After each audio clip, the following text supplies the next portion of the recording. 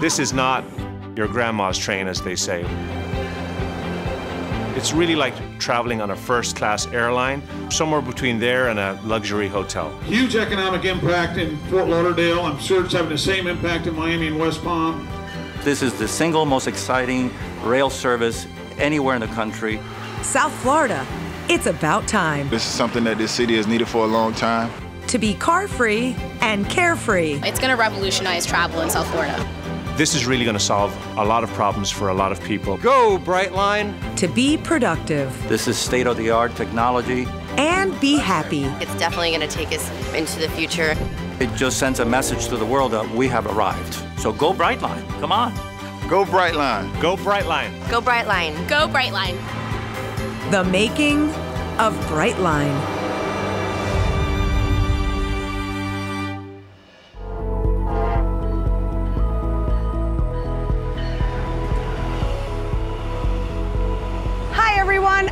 Tillis here in the heart of downtown West Palm Beach with a sneak peek at Brightline's Express Intercity Rail Service. Brightline's brand new state-of-the-art trains are out to change the way we get around in South Florida and in the near future between here and Orlando.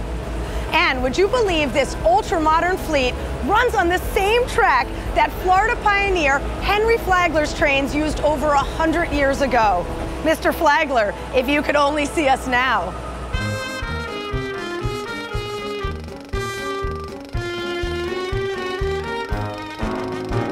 Henry Flagler really got the state of Florida going in the 1890s with the building of the railroad and in the process building some of the grandest hotels known to the Americas at the time. He really started what we call America's first resort destination here, the first purpose-built resort town in America. So the Brightline arrival is really kind of paying back to the legacy of Henry Flagler by establishing that service again in a grand style. When Henry Flagler built the railroad into South Florida over 100 years ago, he went all the way from Jacksonville down to Key West. We're taking those very same tracks. We added a second track, we added and upgraded all of the signals and crossings all the way down. It is an incredible occasion to be able to reactivate that historic rail line in a way that's so meaningful for visitors and residents of South Florida today. I think Henry Flagler would say, they go how fast? Henry Flagler would be amazed and delighted to see this. This is really his vision of bringing tourists and helping people to get around in Florida. I would hope that he would be proud of what we had done and how we reinvented and reimagined the work that he had created over 100 years ago.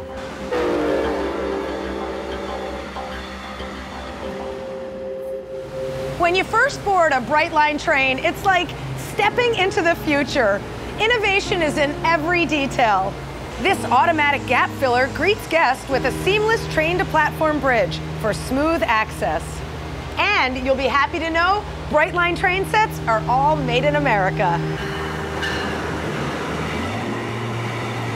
Brightline is South Florida's new intercity train service connecting Miami, Fort Lauderdale, and West Palm Beach, and eventually Orlando.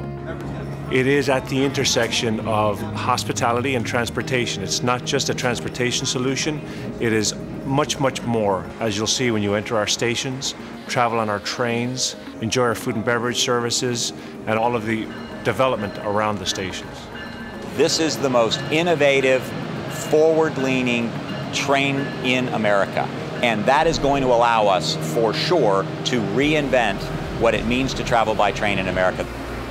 It's the culmination, obviously, many, many years of work, and there's a lot of effort and a whole lot of innovation in this box that we're sitting in right now. And with a completely American-made system manufactured here in Sacramento with really global technology at the best of its class. I think we're seeing the beginning of the future of traveling by train and what new train sets and the technology around them looks like here in the United States. We worked with over 40 suppliers in 20 states. The engines were built in Indiana by Cummins. The trains themselves are manufactured by Siemens in Sacramento, California. They were fully constructed, put together, and all the parts sourced right here in the good old US of A. They're diesel, They are EPA compliant. You can't even hear these things running when they're sitting in the stations. They're very, very eco-friendly. Not to mention the fact that we're taking, you know, probably 3 million or so cars off the road. It's a great demonstration of what can be accomplished in this country. Coming up, Made in the USA meets Made in Miami. Miami Heat veteran Udonis Haslem's vision for his city. You know, it's going to be a feeling of accomplishment, you know, that I've been a part of something that's going to change the city of Miami forever. Henry Flagler's finally appointed private rail car was built in 1886 and touted by newspapers as a palace on wheels. Today, Brightline passengers enjoy spacious, comfortable seating, onboard Wi-Fi with power and data ports, food and beverage, everything is state of the art.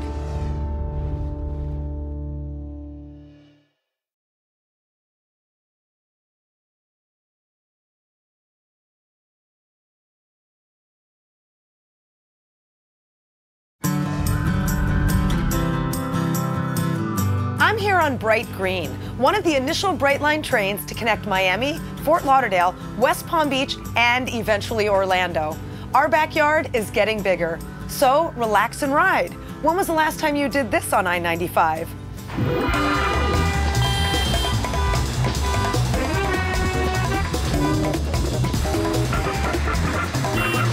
Traffic in South Florida, it's pretty bad. There's sometimes when I'll sit for like an hour, 30 minutes in traffic when I'm only going from one point to another that's really close. I would say the traffic at 95 is uh, pretty brutal in the mornings and afternoons in the rush hour. It can be very harrowing when you have to be somewhere on time like uh, Miami. If I could get out of my car and not have to deal with that, it would make me happy. There's massive frustration in South Florida, and there has been for a long time. The average speed on 95 slows down about two miles an hour every year, while the tolls continue to go up. So people are tired of sitting in traffic. It is unpredictable, it is unsafe, and generally speaking, unpleasant.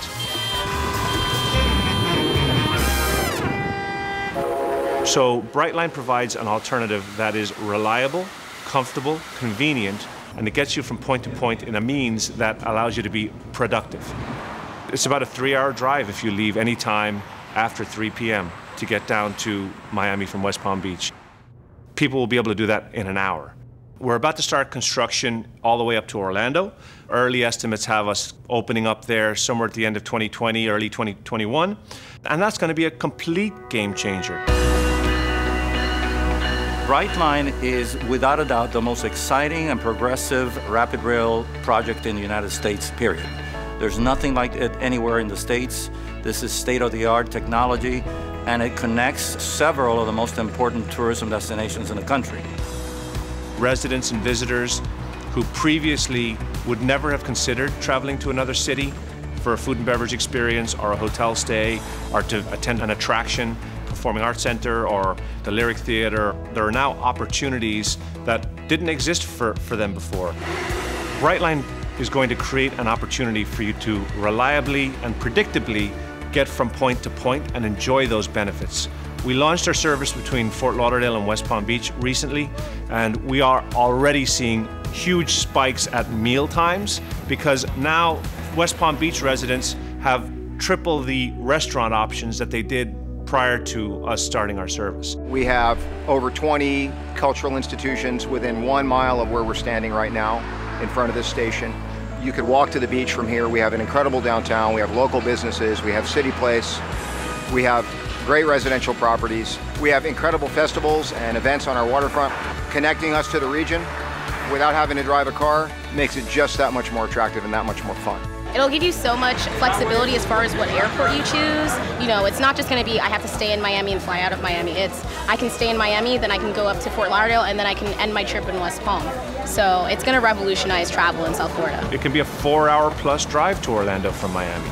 So we're going to be able to do that in three hours, door to door, no bathroom stops, no food stops. We'll have a food car on board. You're literally going to arrive at the Orlando International Airport at their new South Terminal, where there are a myriad of different transportation options to get you to the theme parks, hotels, convention centers, and attractions. Being a Miami Heat guy, it never seems to amaze me how many fans we have in Orlando.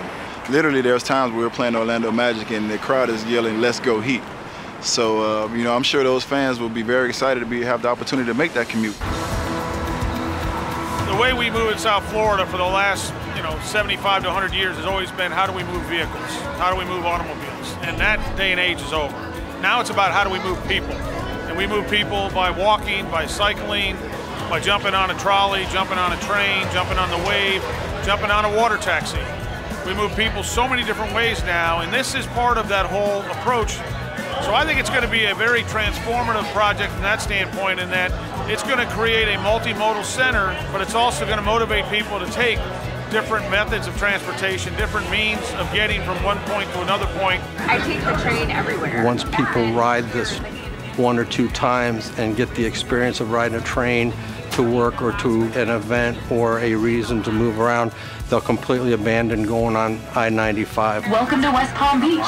Thanks for riding Brightline. We are improving mobility for millions of people in this state, and we're going to take millions of cars off the road. We literally have people coming off the train, high-fiving us, that they, they're so happy that they haven't had to sit in 95 that day.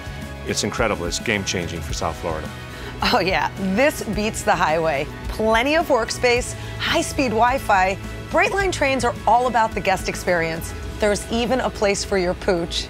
This is not, you know, your grandma's train, as they say. You've got reserved seating, leather seats, outlets on both sides, fold down tables, overhead lights and Wi-Fi, which you know are like oxygen these days, are readily available and very powerful.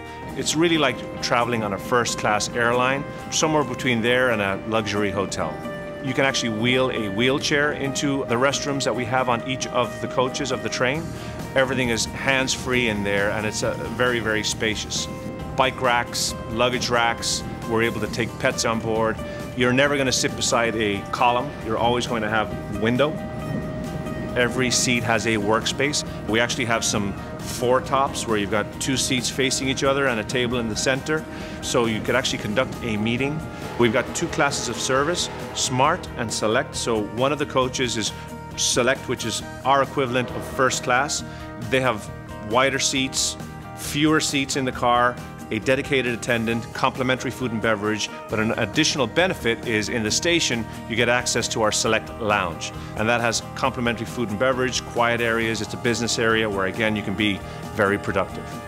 So smart service, you still get the leather seats, you still get the chargers, you still get the Wi-Fi, there's complimentary water included and everything else is for sale. That's really the only difference. The experience is still way superior to any other train travel experience you've ever had. Next up, the Brightline boom, how the train and the surrounding development will change South Florida's culture, lifestyle, and economy. What would you do with an extra hour in your day? If I had an extra hour in my day, I'd be answering emails, I'd be doing Instagram posts. With the extra two hours I probably would get taking the Brightline, I would relax or catch up on work or start work early, respond to emails, or just take a nap on the way there and not worry about being stuck in traffic.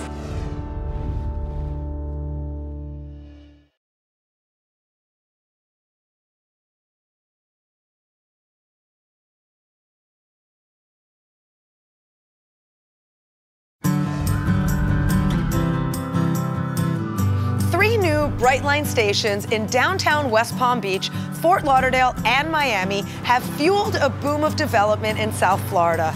Popping up all around luxury office and residential towers, restaurants, retail, entertainment, and culture. And when the first Brightline train pulls into Miami Central, the Miami Heat's own Udonis Haslem will be there with coffee and bagels. Miami Central is a six block 11 acre development, two residential towers, 800 apartments, office and commercial space. I mean, it really is going to change the entire landscape of downtown and it's going to activate Overtown in a way that it's never been activated before. And there are many, many uh, folks coming to the table, not all of whom I can talk about, but the one that I can talk about, of course, is Udonis Haslem, who is going to get involved with us at Miami Central. Udonis is a Miami staple, born and raised here, being here for many years, being a constant on the Miami Heat team. and a smart businessman.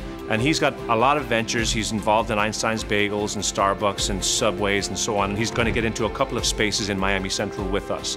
And we're so excited to have him as part of that group. It's going to be a sight to see when you talk about, you know, all the different food concepts that are going to be provided. Um, you know, me having the opportunity to be a part of, you know, what's going on down here. You know, my partner and I, Ramona Hall, first got into this because, you know, we wanted to give back to the community. And like I said, I wanted to have an opportunity to provide jobs. You know, that's going to provide a lot of people with a lot of opportunities downtown. And Brightline and the train station is just a start to kickstart to how we want our downtown to look and how it's going to look in the future. It's just a testament to the faith that everybody has in the success that we expect to have with Brightline and with Miami Central and how it's going to transform not just Miami, but the state of Florida. What's great about these stations is, A, they are located very close to the actual city centers. Miami Station is right down by Government Center. Fort Lauderdale Station is on Broward Boulevard, a couple of blocks away from Las Olas.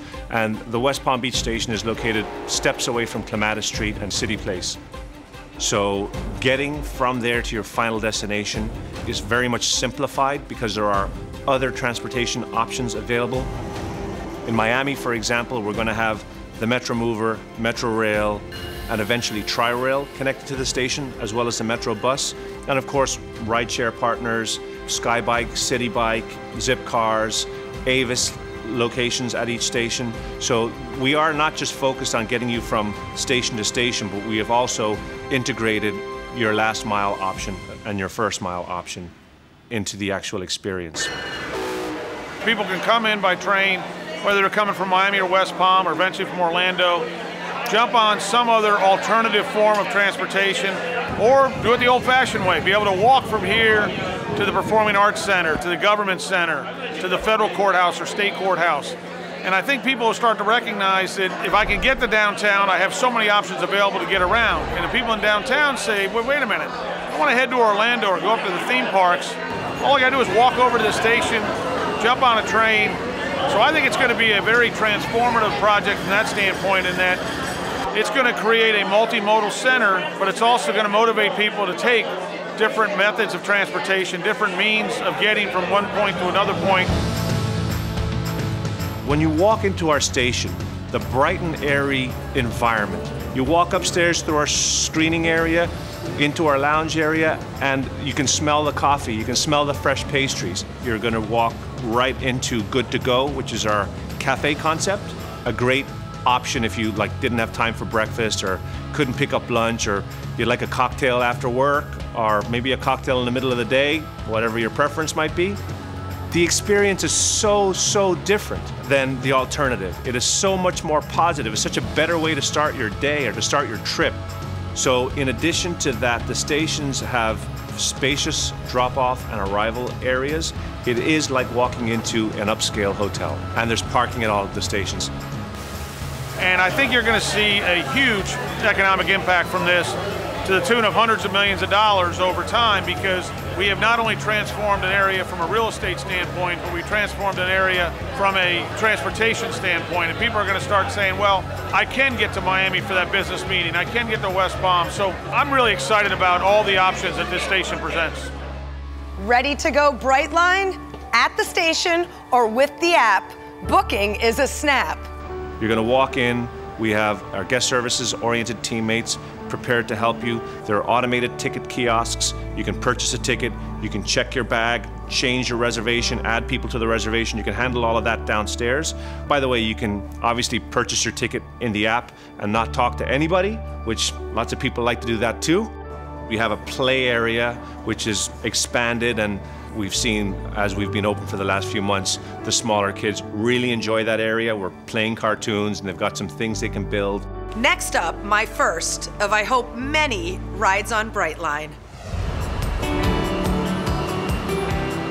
So, South Florida, where would you like to go, Brightline? Me, who's still a big kid and loves to go to Disney World and Universal Studios and do things like that with my kids and enjoy that opportunity. Well, I'd like to visit my family up in West Palm. In Miami, I'm going to go out and hit South Beach. I am really looking forward to taking the train to Miami with my family. As an attorney here in West Palm, I also do work in Miami, and the courthouse is in downtown Miami. And uh, with Brightline Station right near the courthouse, Uh, you couldn't ask for a perfect setup. Uh, basically, be there in an hour.